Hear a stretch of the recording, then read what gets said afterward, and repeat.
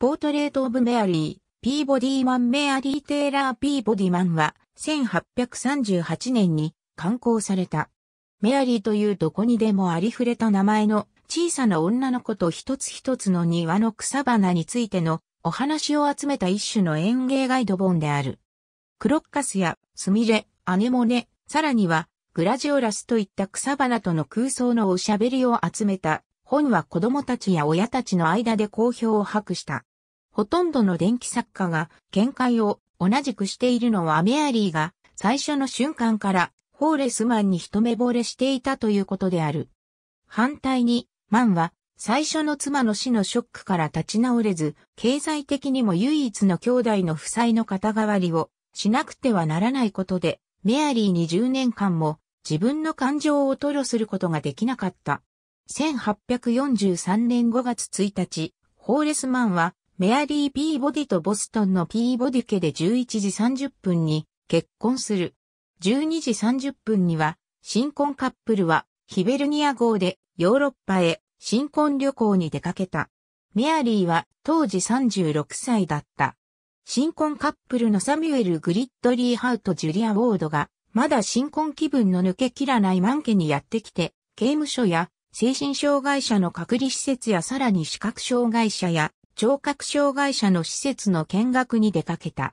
この見学旅行は、一種の新婚旅行の一部で、社会改革に燃えた二組の新婚カップルにとっては一種のワーキングホリデーのようなものでもあった。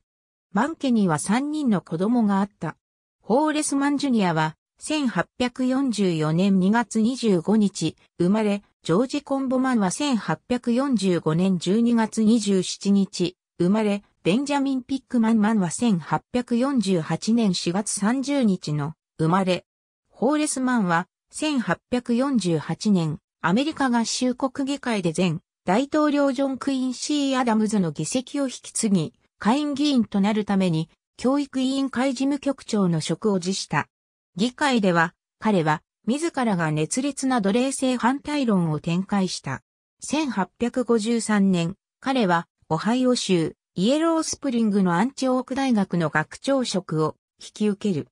これは新しい男女共学でどの宗派にも偏らない、またアフリカ系のアメリカ人にも平等に教育機会を認める大学であった。メアリー・ピーボディは学長の妻と腹心の役を務めた。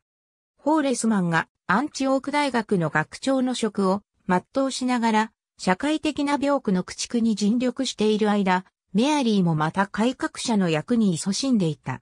宝飾は、かつてメアリーがキャンペーンを張ったことのある、不道徳の一つであった。台所のキリスト教、生理学的な料理本は、健康な食を進める、道徳的な手引きとして提案されたものである。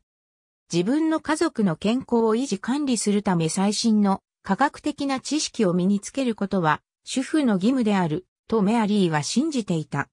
科学者の研究を引用しながら、彼女は読者に贅沢で高脂肪の食事をとることへの警告を発し、ほどほどの香辛料と飲酒の節制を訴えた。1859年、夫の死を契機に、メアリーと家族はマサチューセッツ州に戻った。夫の伝記を執筆し、彼の著作の編纂は、彼女の悲哀を慰めるのに功を奏した。ホーレスマンの生涯と著作には、メアリーへの言及は、たったの一箇所しかない。1843年5月1日、マンは再婚し、ヨーロッパの学校、特に最も期待の高かったドイツの学校を訪問するため船でヨーロッパに渡った。10年と経たないうちに彼女は夫を埋葬しなくてはならなかった。メアリーの長男は24歳で亡くなった。未亡人になってメアリーは教育に関する様々な話題について様々な雑誌に執筆し、スペイン語の本の翻訳をし、息子のしつけもやり、フィルアントロピーの活動にも参加し、ボストンでは姉の幼稚園の仕事を手助けした。彼女のエッセイ、幼児の文化は、1863年、エリザベス・ピーボディの幼稚園ガイドと一緒に小冊し、幼児の文化と幼稚園ガイド、お遊戯のための音楽付きとして出版された。メアリーとエリザベスが手を組んでやった仕事の中には、サラ・ウィネマッカ・ホプキンスの講演活動も含まれている。この人はネイティブアメリカンとして初めて英語で本を書き、著作権を持つようになった人として知られている。さらに、メアリーはホップキンスに自身の本を書くことを勧めた。これで執筆されたのが、パイユート族との生活、彼らの悪と犯罪である。彼女は80歳になって、最初の小説、ジョアニータ、50年前、キューバでの実際の暮らしの物語を書き始めた。これは、彼女の没後発表された。エリザベス・ピーボディは、この物語はフィクションではあるが、基本的に登場人物や主だった重要な出来事は実際のものである。著者に本人が死ぬまでこの本の公開をためらわせたのは、それが理由である。